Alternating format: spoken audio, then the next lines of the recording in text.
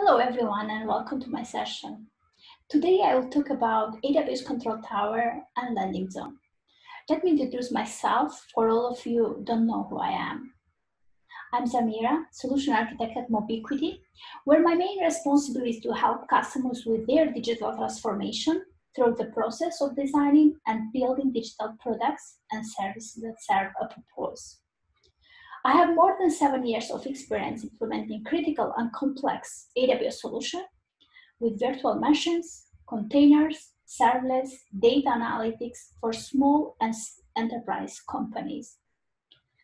I was er-, recognized as APN ambassador and AWS hero by AWS recently. I'm also organizers for AWS user group in Netherlands and Albania, coordinating several meetups with international speakers. In this session, I want to show you some of my experience, the challenge, actual problem the companies are facing to govern their secure data and systems, to have a good structure for their cloud environments that includes basic IT capability, such as logging, monitoring, etc. In the second part, I will cover landing zone provided by Control Tower, the features and all the services that are part of this solution. And the last one, but not less important, I will talk about what is the next step. Could I extend landing zone based on my needs and my requirements? I would like to start with this example. Let's imagine a company organizational structure is made up of teams such as finance, marketing, security, engineers, etc., etc. Each team has certain activity in order to archive the goals, functionality, and the process that we with them made cross business. As the company gets bigger, the activities increase, the size and functionality of the teams increase. But also new departments come up with a new proposal and the top of the company is general manager that governs who governs everything. Why so important for a company? In my experience so far with enterprise companies one of the biggest challenge is how to find a simple strategic solution to govern the systems and the data in secure scalable and efficient way. The company are truly looking for a full spectrum of the process and to keep their system under control. Who can access what and when. If there is security or vulnerability in place, regularity auditor, etc. Some of the common challenges that companies face are to find a good structure for their cloud environments, change management solution to handle any change securely, centralized account management, centralized login and risk management, centralized policy and compliance, security baseline, centralized cost, defend solution to prevent any issue, right access control to their data and system. The same logic follows the landing zone, a set of AWS accounts, services, process between them. Each account or services has certain activity, functionality, and all is governed by control tower. So control tower is not actually a person, but a service managed by AWS that offer high highly effective governance solution, providing an automated way of implementing such as cloud landing zone, following some of the best practices provided by AWS. If you are an enterprise with a large number of applications as distributed teams, cloud setup governance can be complex and time consuming, slowing down your innovation. You are trying to speed up that's where AWS Control Towers come in. AWS Control Tower provides the easy way to set up and govern a secure compliance multiple AWS uh, environments based on best practice. I talked about the challenge the company face now. Let's see the solution provided by Control Tower. What does Control Tower offer? Features and capability of Control Tower. How many services do I have to launch? What about my security? What about my networking? What kind of application? What about my governance, baselines? And which way I have to deploy? There are four important things to remember for landing zone. Speed and easy way. Control Tower lets you to automate setup with just a few clicks using an established blueprint by configuring AWS environments such as multiple AWS structure, identity and access management, and account provisioning workflows. Scalability. The solution, the solution is fully scalable. You can request as many accounts you need, as many services you need, so you can extend the solution based on your needs and your requirements. Security. You can apply security and compliance policy using established guardrails, which prevent resources being deployed that don't conform the policy. You can detect and make non-compliance service. High availability. Probably most of you know already AWS is a global location composed of regions, availability zones, and local zones. And each region has a separate geographic area. Each region has multiple isolated located nodes as availability zones. Control Tower is hosted in multiple locations worldwide. Right now, in USA, there are three regions support Control Tower, North Virginia, Ohio, Oregon, in EMEA, Ireland, and in Asia, Sydney. You can set up in your region that you are close to. Let's get started with the features and capability that Control Tower offer. Landing Zone is a well-architected multiple AWS account environment based on security and compliance best practice. The enterprise-wide container that holds of all organization unit accounts, users, and resources. Guardrails is a high-level rules that provide ongoing governance for your AWS environment. There are two kind of guardrails, basically, preventive and detective. Account Factory. Account Factory is a configurable account template that help you to standardize the provisioning of new AWS accounts. Control Tower offer a built-in AWS account factory that help you to automate the according provision workflow in your organization with automation template. In this picture, there are three AWS accounts, master account, log account, audit account, but also you see there are other accounts that you can add in landing zone environment. This, how many accounts based on your requirements. Let's start with the first one, master account.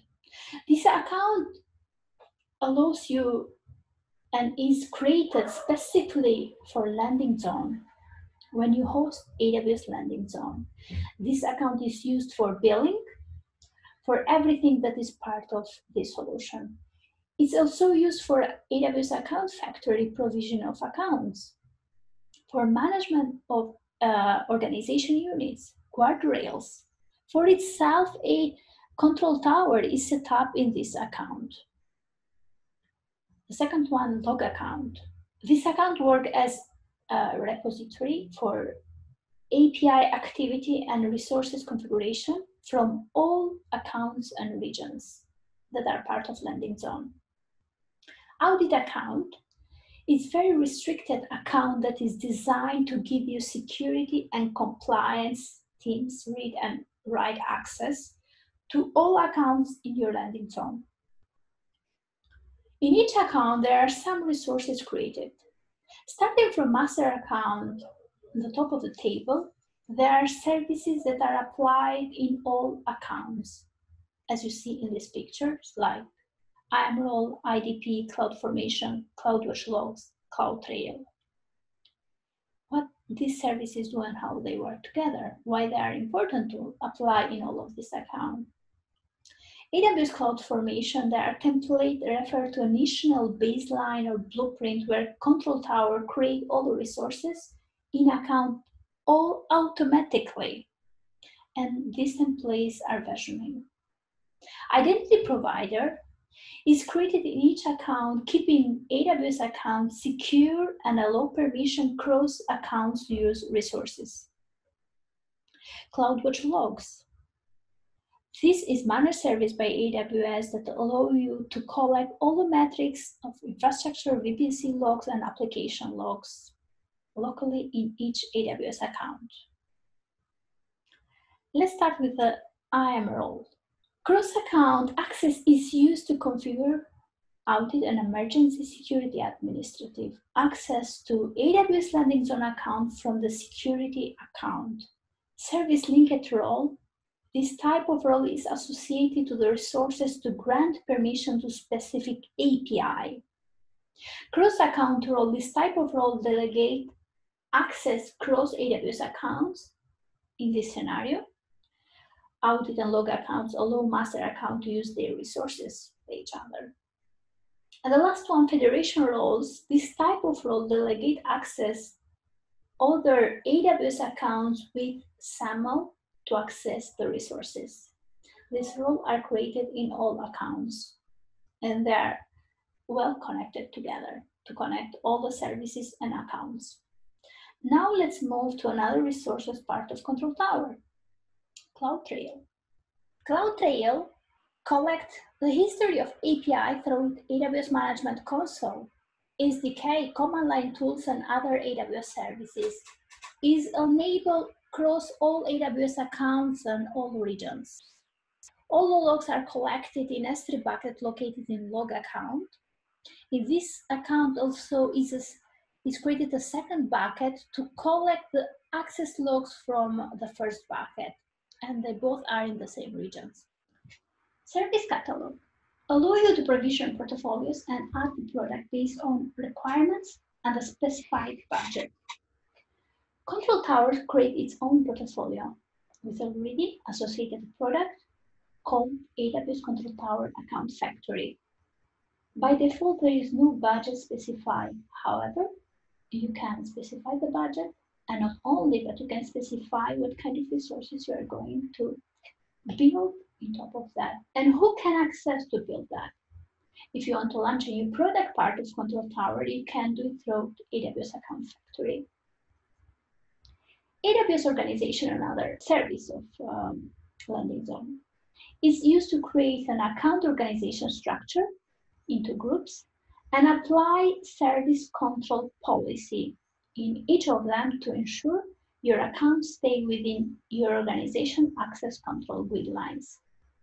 Under root, there are two main groups, core and custom. Log archive and audit are part of core, but you can also add more accounts under under custom. Let's see some details of single sign-on, another feature. Single sign-on allow you centralized access management and permission to AWS account. You can authenticate an AWS account with a single user and password through the customer-friendly link provided by single sign-on. Also, you can set up user permissions, account permissions, group permissions, session duration, centralized access management, avoid creating IAM users, and permission in child account. So no add user in child account. You can enable user access to specific AWS account and applications by adding the user to the group that has provisional been allowed access to the appropriate account and application. With group, you can grant or deny permission to groups of users rather than having to apply to specific user individual. You can decide also which user and group have a single sign-on access to AWS accounts in your organization. You can manage permission sets of control to control the user's level of access to this account and resources. And the last one, but not less important, all these services are applied to a secure SAML compliance applying the guardrails. Now let's see on how these services work together. This solution provided by Control Tower.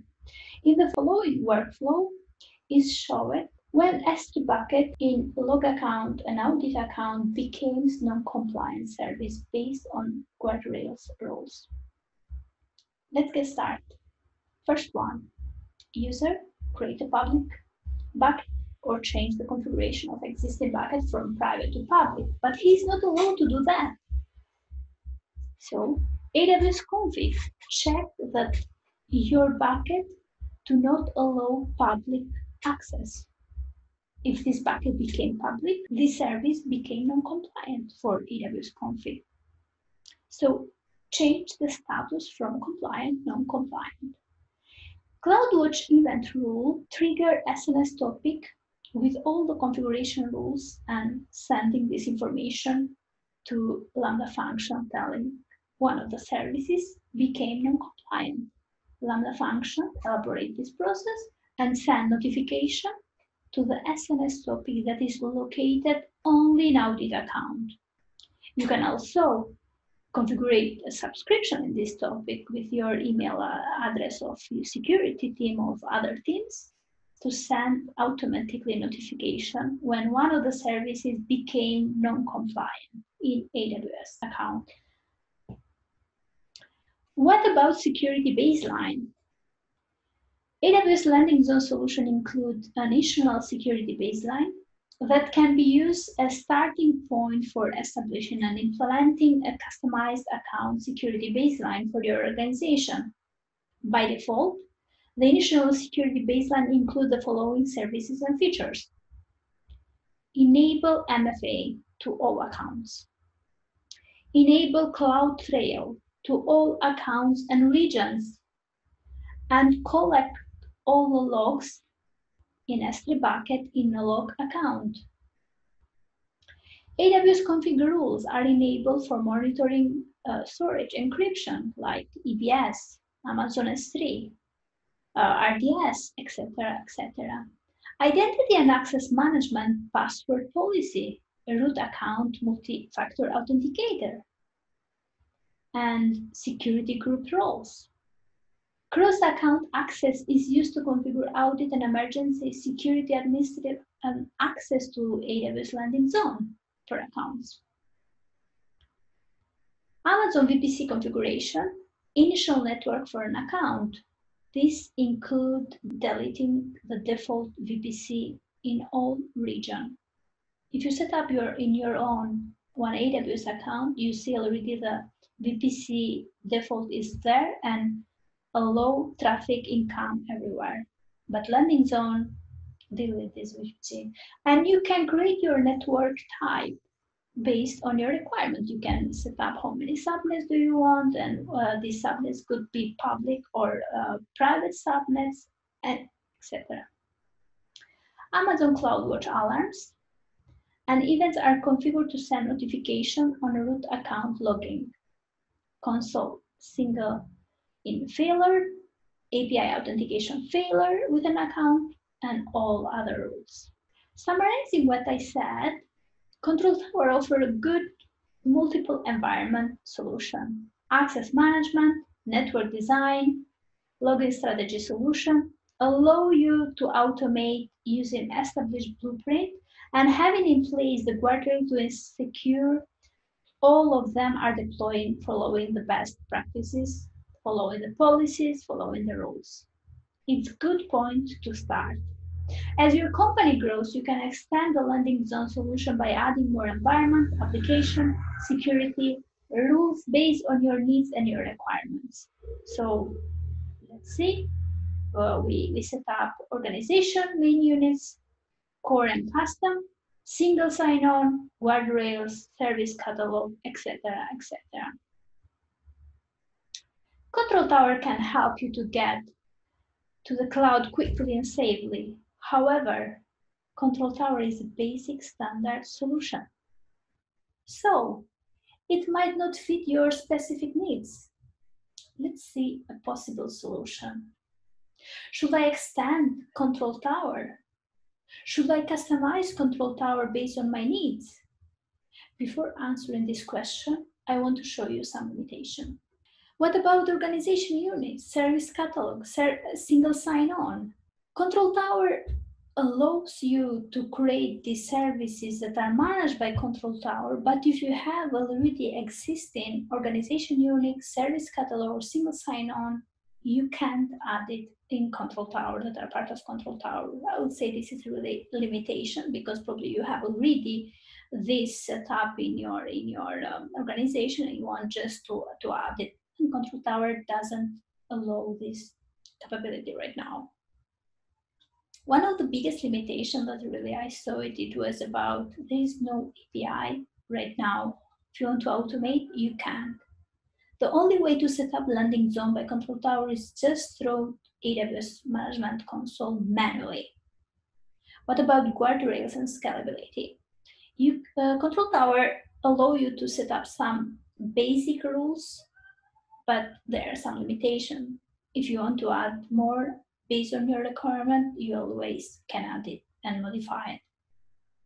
Support version, you can scale adding more AWS accounts, rules, baselines, but all of this manually. There is no automation way to do. What you can choose based on your requirement, you can choose what you want. You can choose if you want to, to speed up something very fast and easy, go for Control Tower. If you want to have your custom landing zone and you want to spend more time based on your requirement, based on your fee, you can go for your customer. Here is a solution we designed at Mobiquity for one of our enterprise customers. We added four more accounts. We designed a centralized login solution. Let's see first these four accounts, CICD, Dev, UAT, and Prod. You also can add more and more control tower for the flexibility to any scale. The first one, DevOps or tooling account. These accounts allow you, the DevOps team, to successfully release application across AWS accounts, in this case, dev, preprod, and prod. Doesn't matter what your DevOps process looks like and what kind of tools you use, but it's important that these tools are isolated by other environments for security purposes. Services are hosted here include continuous integration, and continuous delivery. Dev environment. Allow developers to start de developing things, to experiment, to learn, to innovate, and to build things up. Here, developers deploy their code and test any new implementation, features, or bugs. Once the code is considered stable, they start build and deploy them to other accounts, pre-prod accounts or UAT, where quality assurance is performed. Tester access the staging environment and ensure that application work as it should. In this environment, they are in different tests to detect bugs and ensure the application is ready to deploy into production. Production. This is most restrictive environment is where the production Applications are made availability to end users. We should have very limited access into the account. We should ensure right connectivity and all the logs are uh, collected to login account. What about centralized logging? In an enterprise organization, some of the most critical things are controlling and managing the logs, storing the logs in secure way, Centralizing storage, centralizing logs saves time, increase the reliability of your log data, and allows you to filter for the most significant secure data critical for auditing, process, and compliance in large organization. Amazon Kinesis Firehose is created to deliver log data from the data stream to Amazon S3 for debugging or Elasticsearch for analytic purpose. Firehose allow you to ingest data from different data producer, probably running a Kinesis agent on your machine, having your custom application that does this, or CloudWatch destination, like in my case, I'm using CloudWatch destination. Amazon Kinesis Firehose is easy way to reliability load streaming into different destination and points to accomplish different use case in parallel. You can also set up rules on how to put the data in destination, buffering data in input by time and size. For example, push the data in Elasticsearch every five minutes and every 100 megabytes is just example. Lambda function does transformation and validation on the data, which is residing in the Kinesis Firehose and change it before it's written into destination. The data, attribute records, and write it back to Kinesis. And this is all my session. Thank you so much.